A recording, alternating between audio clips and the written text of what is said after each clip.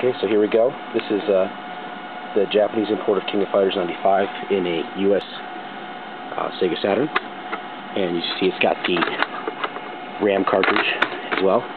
Powered on. And what happens?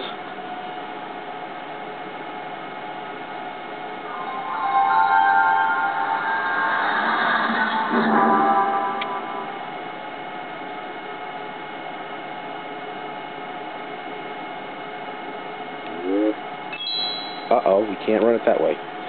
So, I use my ST key import um, card here, but unfortunately, wait a minute, there's a cartridge in there already. But I thought, well, maybe we can get away with this. So, let's just put it in.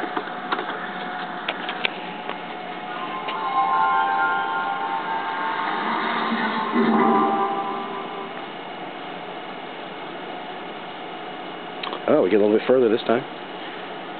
Nope, it's just a cartridge, that's why.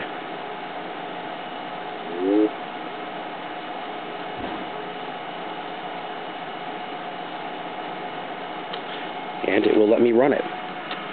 But what happens when I run the cartridge, run the game?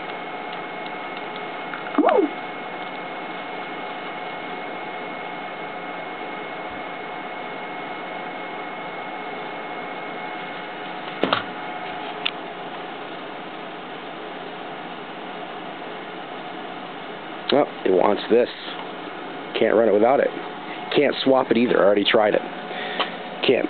So, the only alternative is for me to mod my Saturn with a sw region switch, which I'm just deciding whether this would be worth it for me to do for this one game.